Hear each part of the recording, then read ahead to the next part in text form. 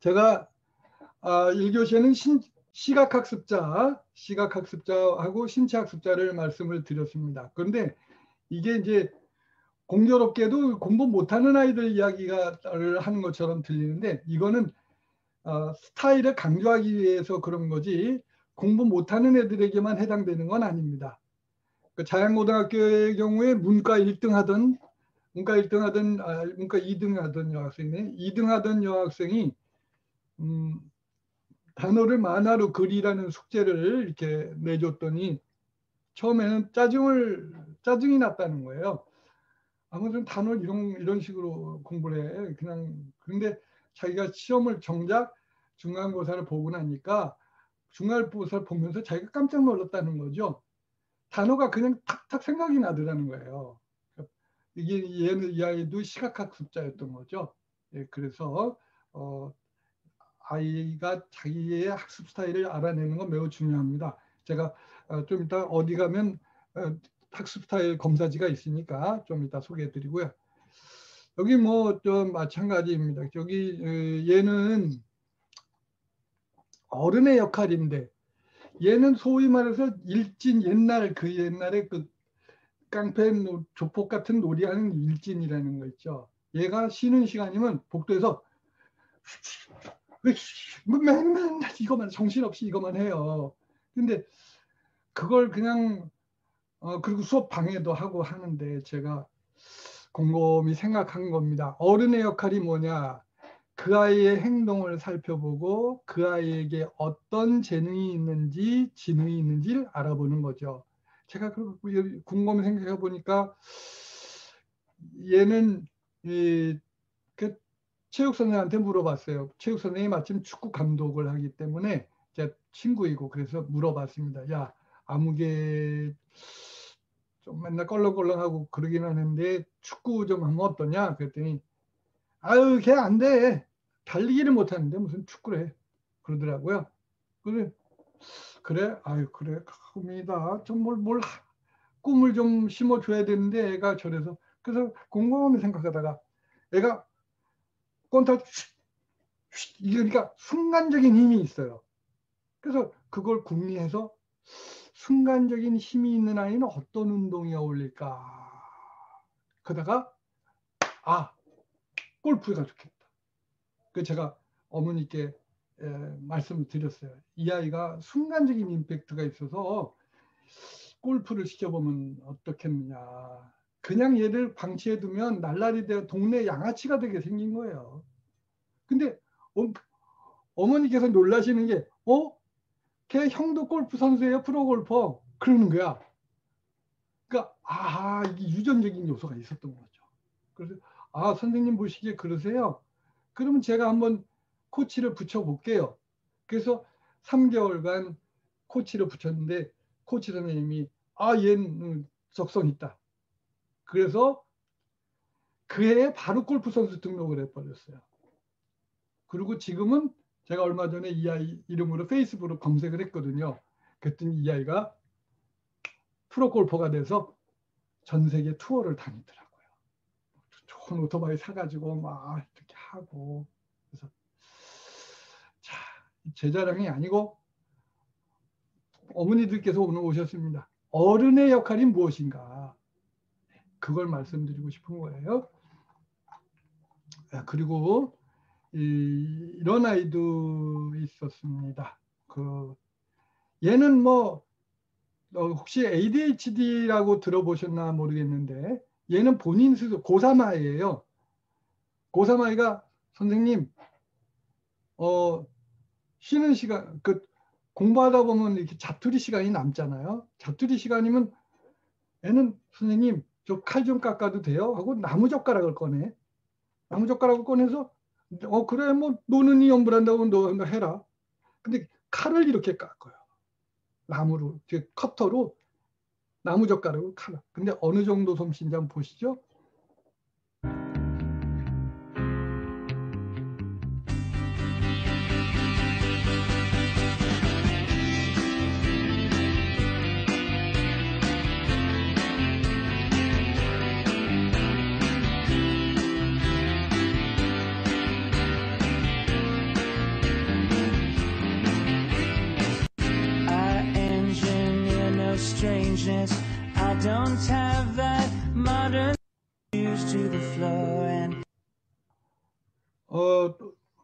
어머니들은 이 작품의 의미에 대해서 잘 모르실 것 같아. 자, 유튜브에 이렇게 올렸는데 조회수가 24만 3천 개. 네, 24만. 제가 올린 모든 영상 조회수와 맞먹어. 제가 올린 거지만 이래요. 이게 아이들 눈높이에서 엄청난 그 선풍적인 인기를 끌었던 거예요. 그 얘는 여기 보시면 댓글이 342개예요. 여기 저 칼들 얼만가 내가 사겠네 천세 참월이라면 좋겠네 이거 보세요. 그러니까 애들이 이요 자 요거를 얘네들은 사고 싶어서 막 안달을 하는 거죠. 이 아이는 아마도 이 이 칼 가지고 인터넷 상점을 했어도 장사 아마 이 정도면 이 정도만 하나가 24만 3천 조회수가 이 정도 되면 얘는 유튜버가 되고 이 나무칼 판매업으로 해서도 성공하지 않았을까요? 네. 그 제가 제가 얘는 얘가 ADHD라는 걸 왜 하냐면 본인이 그렇게 얘기를 합니다. 선생님, 저는 사실 저희 가족은 모두 모두 ADHD의 어려움을 겪고 있어요. 하지만 나으리라는 확신을 갖고 있어요. 이렇게 말을 하는 거예요. 자기 스스로 커밍아웃을 해요. 그래서 그래 그렇다면 너가 창의적으로 한번 표현해봐라 한 그 중에 한 숙제고 그 밖에도 여, 정말 열심히 수행평가를 해줬습니다. 그래서 제가 이렇게 에, 우리 가족은 남, 모든 것이 남보다 한 박자 늦다. 하지만 멈추지 않고 꾸준히 열심히 노력하면 우리도 화려하게 꽃필 수 있다고 어머니께서 우리들 우리 가족이 한 박자 내리는 모두 ADHD를 앓고 있기 때문이다. 아, 놀랍죠. 네, 놀랍습니다. 그리고 애가 숙제를 열심히 열심히 했기 때문에 제가 추천서를 당연히 추천서를 이렇게 써줘서 컴퓨터공학과 쪽으로 진출을 했습니다. 네. 음. 자, 별, 별의, 별의별, 그죠? 근데 중요한 건 뭐냐? 여기서 이걸 통해서, 이런 작품들을 통해서, 조회수를 통해서 뭐가 향상했어요, 애가? 지읒지읒감. 음? 네. 뭐가? 네. 지읒지읒감이 상상. 그렇죠. 맞습니다. 저는 감히 어머니들께 말씀드립니다. 얘네들 10대에 키가 크는 것보다 더 중요한 게 바로 뭐, 뭐가 크는 거다. 네. 자존감이 크는 거예요. 그게 키가 난쟁이로 살 수는 있어도 자존감 없으면 못 삽니다. 근데 어떻게 그러면 아이에게 빵빵한 자존감을 줄 것인가? 이제 촉각학습단 넘어갈게요. 이런 경우 미용 미용 기능사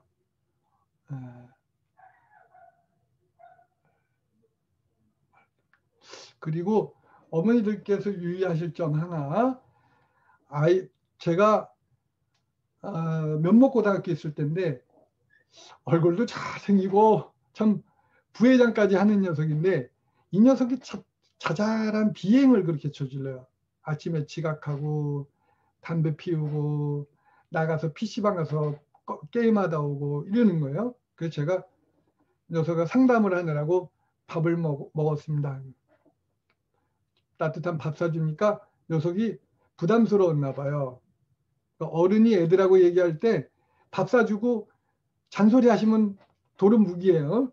그냥 가만히 계셔야 돼. 밥 사주고 그리고 가만히 있으면 애도 부담스럽거든. 본인이 얘기를 하는 게 선생님 저는 사실 꿈이 없어요. 이러는 거야. 왜? 어? 그래? 꿈이 없어? 왜 그러니? 그랬더니 제가요 초등학교 3학년 때요 축구 하고 싶어가지고요 축구부 있는 요 옆에 학교로 아빠한테 전학 보내달라 그랬어요. 음, 그런데 아빠가요, 야 임마, 너 찐박질도 못하는 게 무슨 네가 축구를 한다 그래 임마. 아빠가 그렇게 말씀하시고 전학을 안 보내줬어요. 어, 그럼 그랬구나. 그래서 꿈이었구나. 네. 그리고는 아빠, 아빠가 미워서 아빠가 너무 미워요 그러는 거야. 아 거기서 제가 머리를 탕 치는 걸 느꼈어요.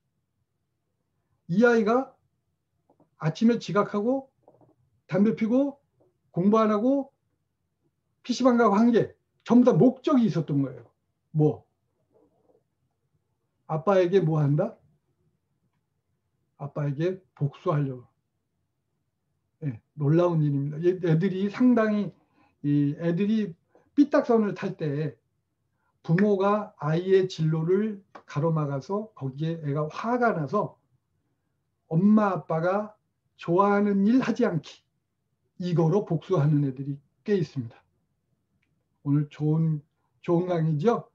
35년 동안 그런 거 많이 봤어요. 그러면 아 그러면 띵박질 못하는 걸 체육 축구 선수 시키란 말이요. 선생님도 철이 없네. 철이 없는 게 아니라 일단 그냥 시키라는 겁니다. 음, 이건 말리면 더 하고 싶은 효과 무슨 효과?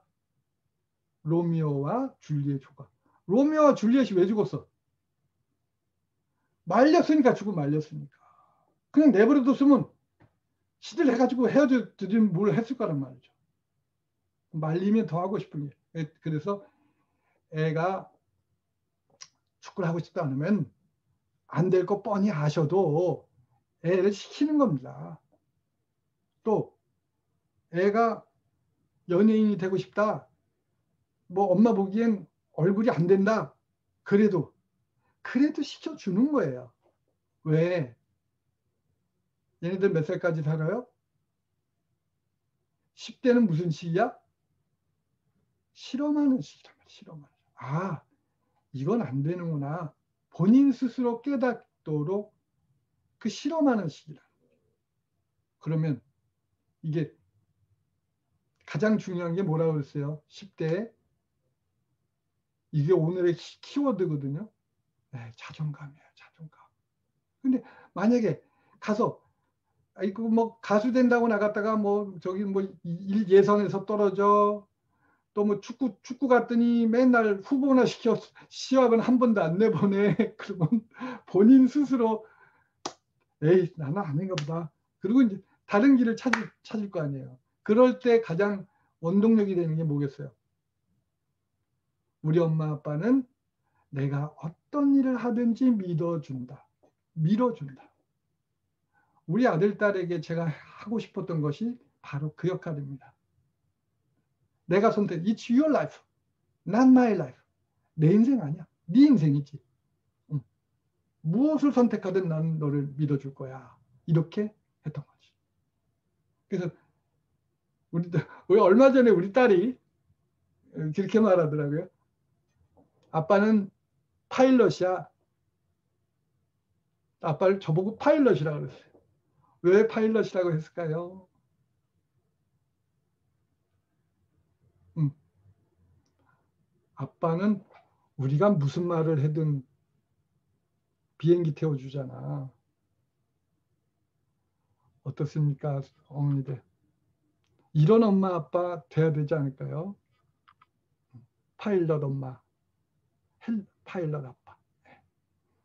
예. 그래서 이제 이 아이는 부모님 면담을 하고 어, 얘는 치료도 좀 필요하고 그래서 ADHD 그 병원 치료까지 하고서 대학을 승마학과를 갔어요. 얼마나 신나겠어요. 응? 이 그 들판을 달리고 싶었던 애인데 그 대학교 가서 막 그 말 타는 장면을 저한테 영상을 보내주고 그랬어요. 그래서 우리나라는 승마 쪽이 이제 좀 취업의 문이 좁아서 말 대신에 버스를 택해서 지금 관광버스 기사 잘생긴 인물에 재밌게 잘 지내고 있습니다. 예. 자, 근데 여태까지는 어, 강점을 찾는 법을 말씀드렸습니다. 예, 근데 그 아이의 강점이 어, 뭐가 있을 수다? 이거 눈이 있을 수 있고, 그다음 시각 학습자가 있고, 온몸으로 표현하는 신체 학습자가 있을 수가 있고 또 촉각인데 촉각은 제가 그냥 통과하겠습니다. 그런데 이런 강점을 찾는 것도 중요하지만 강점을 키우는 게 더 중요하죠. 키우는 것도 중요하겠죠. 그런데 그 강점을 강화하려면 무엇보다 뭐가 필요하냐? 칭찬입니다. 그런데 어머니들이 칭찬할 게 없다. 이게 많이 말, 고민을 토로하셔요. 아, 선생님, 뭐 아닌 걸 아니라고 말해야지 아닌 것도 기라고 말하면 안 되잖아요. 그럼 뭐 칭찬할 게 있어야 칭찬하죠. 제가 분명 그 말씀드리건데 부모님들이 칭찬의 기준이 왔다 갔다 하기 때문에 문제예요. 칭찬의 기준을 어디에 둬야 돼? 내 아이의 과거에 두셔야 돼. 내 아이. 엄친아도 아니야. 엄마 친구 아들, 뭐, 사촌 안 돼. 내 아이를 놓고 그 아이가 어제보다 오늘 변했으면 이걸 칭찬을 해 주셔야 됩니다. 그 구체적으로 무, 슨 얘기냐 이게.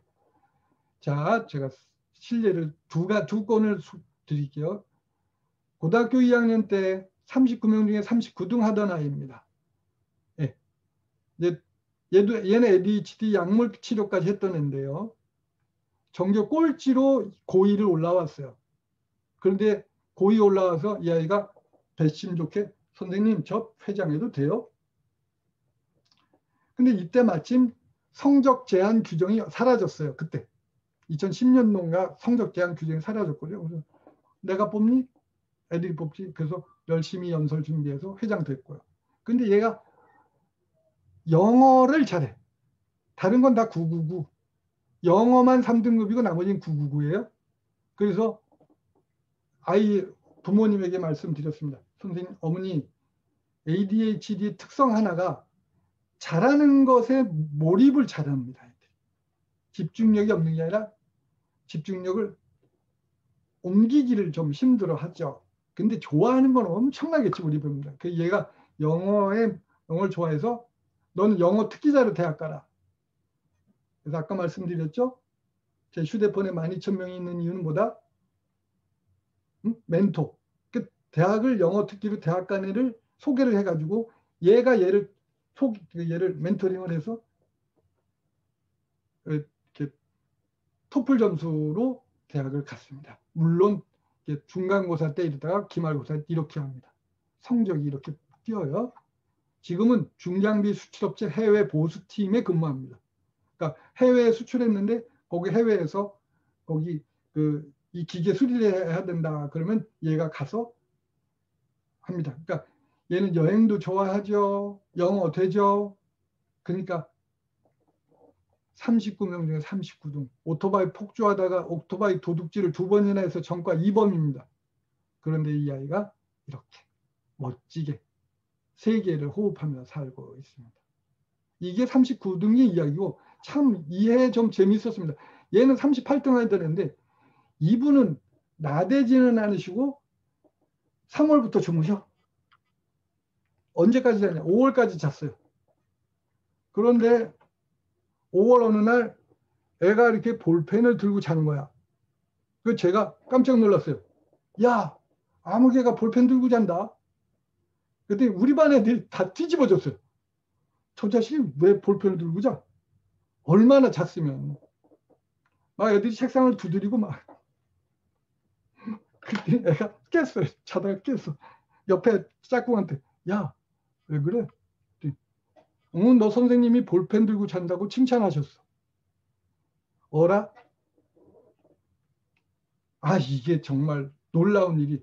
이 볼펜 들고 잔다는 이 사실이 얘한테 칭찬으로 작용할지 몰랐습니다. 그 다음 시간에 얘가 우리 반 애들을 하나씩 하나씩 다 뜯어봐. 1번부터 39번까지 다 뜯어봅니다. 왜 뜯어봤을까? 상상하기 어려우실 겁니다. 이 아이는 그날 처음 본 거예요. 애들을. 자기네 반에 이런 애들이 있다는 걸 처음 본 거예요. 이렇게 잡니다, 애들이.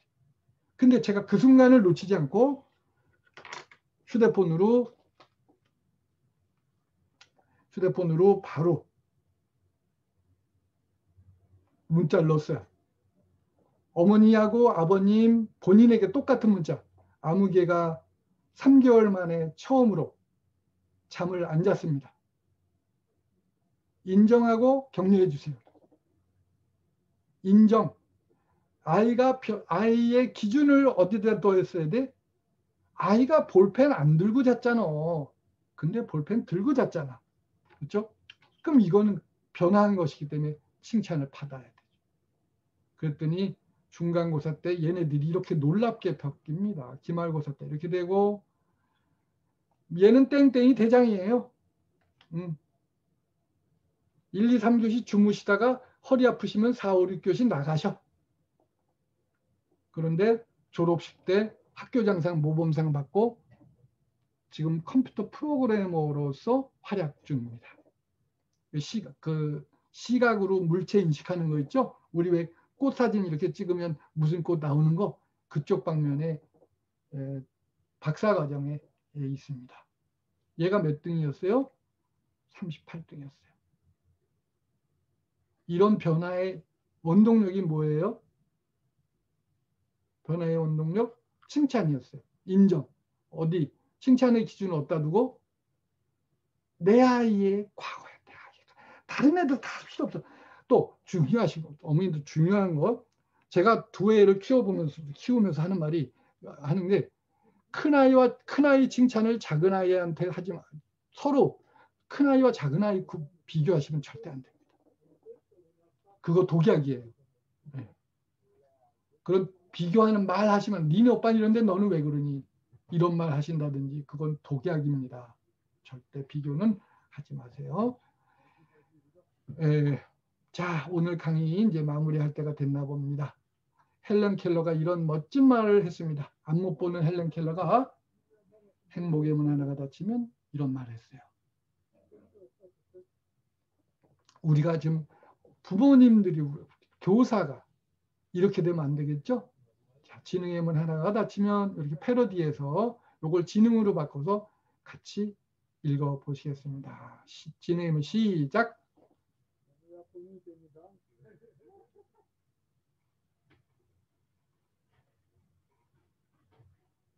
바로 이거죠. 이렇게 열린 문도 있고 닫힌 문도 있는데 예? 우리는 닫힌 문만 바라보고 아이고 답답해라 이런다는 거죠.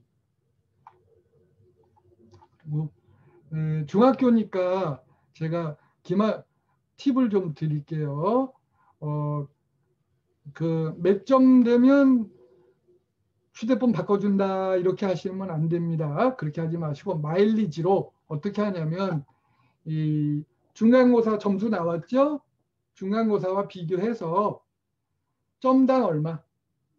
중간고사가 가령 70점이었다. 그러면 어, 네가 점당 얼마 해줄까? 저는 그렇게 했어요. 우리 우리 아들 딸하고 기준을 이전 성적, 내 아이의 과거, 그러니까 1학기 중간고사 점수와 비교해서 기말고사에 올라가면 용돈을 특별 용돈을 원래 용돈은 주고 특별 용돈 그러니까 아이가 70, 73점이다 그러면 3점에 해당하는 거. 뭐 점당 천 원일 수도 있고 아이 초 아이 유, 어, 초등학교 때는 점당 천 원 줬어요.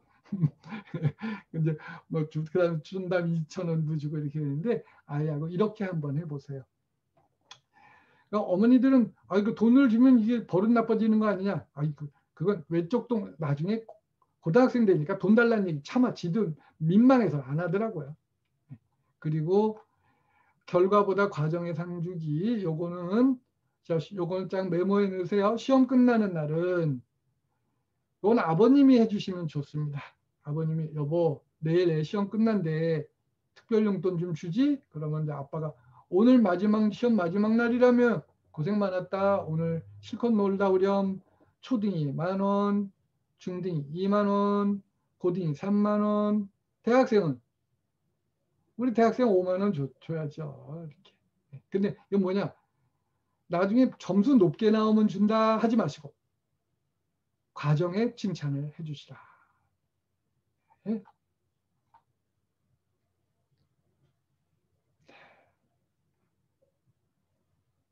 같이 눈으로 읽어보시겠습니다.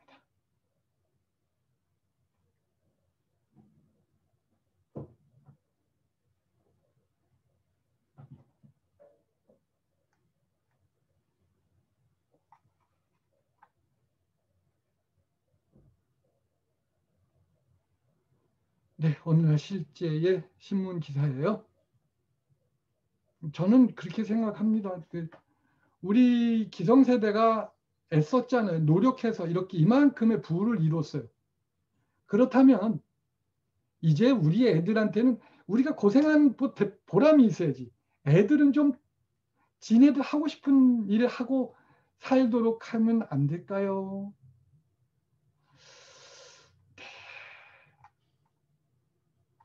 자, 부처님이 주치의였던 같이 소리내어 읽어보시겠습니다. 시작. 부처님의 주치의였던 기바가 의사 수업을 받을 때의 일입니다. 어느 날 스승이 기바에게 망태를 주면서 말했습니다. 약초를 캐오느라 이것이 마지막 시합이다.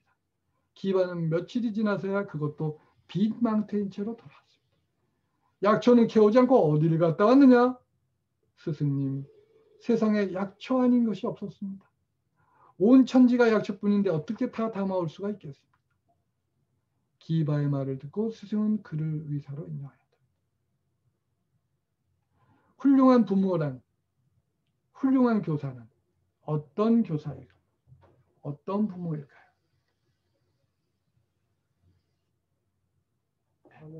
반발짝 앞서서 아이의 재능을 찾아주는 것 아닐까요? 약초 아닌 것이 없습니다. 자, 제가 노래 하나 노래 하나 소개해 드릴게요. 어, 제가 내 인생도 만점 송인데요. 이 제가 퇴임하고서 3년 전에 퇴임하고서 퇴임하고서 제일 중요한 게 저는 건강이라고 봤어요. 제가 원래 그 이 강한 체질이 못 됩니다. 체질, 체질이. 그래서 끝나고서 퇴임하고서 제가 결심한 게 매일 새벽에 조깅하겠다 한 거예요. 새벽에 조깅하고서 내 체력을 100%까지 만들어 보겠다. 그리고 조깅을 시작했습니다. 저희 집이 올림픽 공원 옆이라 정말 조깅 코스, 조깅하기는 정말 좋은 코스예요. 안전하죠. 그런데 하루 1%씩 목표였는데 석 달이 됐는데 별로 바뀐 게 없어. 그냥 뭐 체중도 그대로 뭐, 뭐 체력도 그렇게 또 나아진 느낌이 안 들고 그래서 아 이게 뭐지? 그래서 목표를 달리 잡았습니다. 그때부터. 야 하루 0.1%만 잡아보자. 그러면 몇 년이면 100%가 돼? 3, 3, 9, 3년이면 100%가 됩니다. 0.1% 하루에 0.1%만 잡아도. 근데 120까지 산다는데 급할 일 뭐 있나? 하루 하루 뛰다 보니 내 체력도 99.8. 오늘 오늘 아침이 제가 퇴임하고서 조깅 시작한 지 998일째예요. 998일째. 원래 1000일을 목표로 했거든요. 그래서 내일 모레는 가족들과 파티를 할 겁니다. 천일 파티, 천일 기념 파티. 그러니까 지금은 99.8이라는 게 굉장히 자랑스럽죠. 제가 이걸 뭐냐면 아이하고 같이 이런 목표를 세워 보시면 어떻겠느냐. 휴대폰으로 요 화면 찍으시겠어요? 네, 휴대폰으로 요 화면 찍어 주세요. 노래 부릅니다. 제가 이렇게 노래를 만들었어요. 하루 1% 목표에 송아지 송아지 이 노래예요. 하루 1% 목표해도 석 달이면 90% 0.1% 잡아도 3년이면 100% 120까지 산다는데 급할 일이 뭐 있나 하루하루 뛰다 보니 내, 내 체력도 99.8 새벽에 조깅하면서 이 노래 부르면서 주문이에요. 저, 저의 주문. 아, 오늘도 이 노래 수십 번 불렀습니다. 사실 조깅이라는 게 지루하잖아요. 그러니까 이 노래를 부르면서 마음을 되새기는 거죠. 하루하루 뛰다 보니 내 체력도 99.8. 자, 요거를 가지고 이제 우선은 어머니부터 어머니들 부모님들부터 이거 목표를 하나 세워 보세요. 이렇게 3년을 두고 3년을 두고 하루에 프로 목표에도 석달에 싶어 120까지 산다는 일이 뭐래 목표 하루하루 뭐뭐 하면 내 몸모도 만점 3년을 두고 우리 아이 지금 중학교 1학년 2학년 3학년일 텐데 지금 좀 한 3년짜리 목표를 두는 건 어떻겠습니까? 안 되면 30년짜리 하는 거지 뭐. 30년. 저는 안 되는 게 있어. 99.8 하는데 9.98밖에 안 되는 게 있어요. 저한테도. 좀 머리가 흰, 검은 머리가 났으면 좋겠는데 이거 뭐 조깅 첫날 한다고 머리가 까매지겠어요? 자, 그러면 여기다가 여기다가 요 마지막 줄 하루하루 뭐뭐 하면 내 뭐뭐도 만점 여기다가 다짐을 한번 해보시겠어요? 어머니들부터 뭐뭐 하면 내 뭐뭐도 만점 이거를 어머니부터 만드셔서 냉장고에 붙이시고 할 때면 항상 이 노래를 계속 반복해서 부르세요. 그리고 아이가 오면 어느 선생님이 강의하시는데 이분은 조깅을 천일을 했다네. 그래서 체력이 강철 체력이 어머니들 제 얼굴 어때요? 피부 good? A, B, C, D 1, 2, 3, 4, 5점, 5점 만점에 몇 점? 피부 손가락 펴주세요. 이게 이게 어, 땀을 땀을 흘리니까 막 땀을 뚝뚝 흘리는 건 아니고 그 젖을 이렇게 살짝 젖을 정도로 땀을 계속 흘리니까 이 잔티가 없어지더라고요.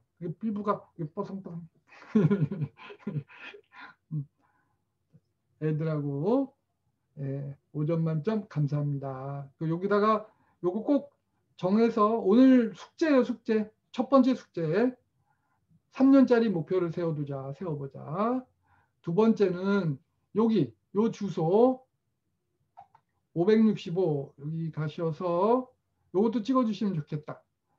어, 휴대폰으로 찍어주시면 어, print screen 하시든지 이, 여기서 요거 가시면 학습 스타일 다중지능 검사가 있어요. 근데 어떻게 내 속으로 난 자식이 나하고 이렇게 다른가 하지 마시고 이렇게 학습 스타일 아이가 어떤 학습 스타일인지 또 다중지능도 검사해 보시기 바랍니다.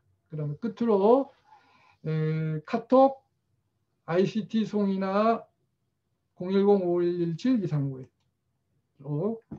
휴대폰 번호 010-5117-2391 여기로 오늘 강의 소감문 강의 소감문 남겨주시면 어, 예, 제가 엄마표 영어 공부방을 제가 단톡방을 운영하고 있어요.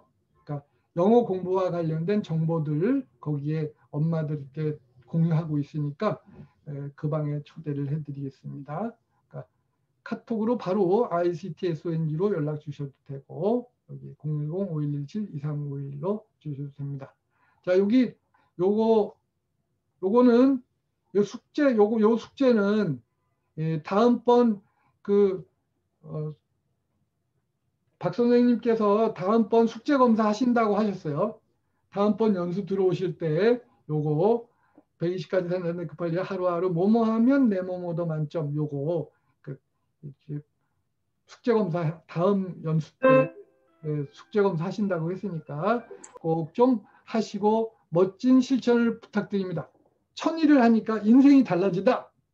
어때요? 제가 강의 2시간 했지만 별로 피곤해 보이지 않죠? 네. 아유, 웃어주시고 그래서 감사합니다. 오늘 수업의 주제를 구호를 하면서 마무리하겠습니다. 개콘 기억하시죠? 예, 개콘에서 하는 것처럼 우리도 손을 들고 키보다 점수보다 무엇을 키워주자? 자존감을 키워주자. 자 여기 음소거 다 해제하세요. 음소거 해제. 오늘 강의는 이겁니다. 난쟁이로는 살 수 없어도 살 수 있어도 자존감 없이는 애들 살 수 없습니다.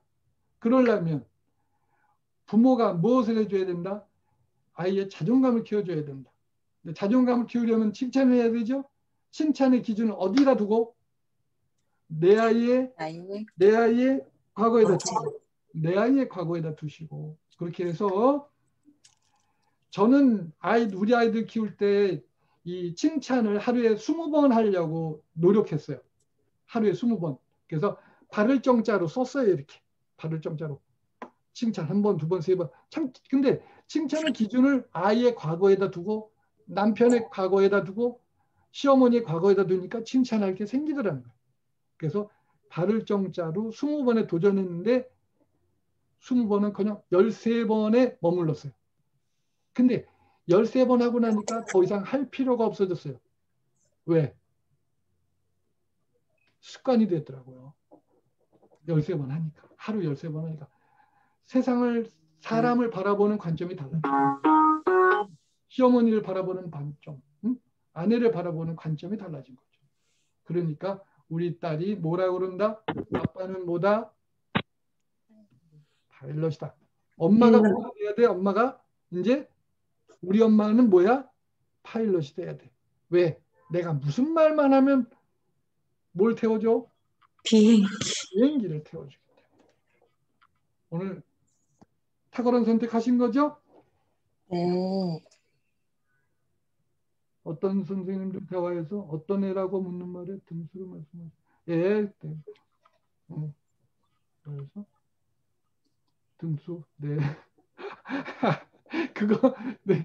90, 94년도 얘기예요. 94년.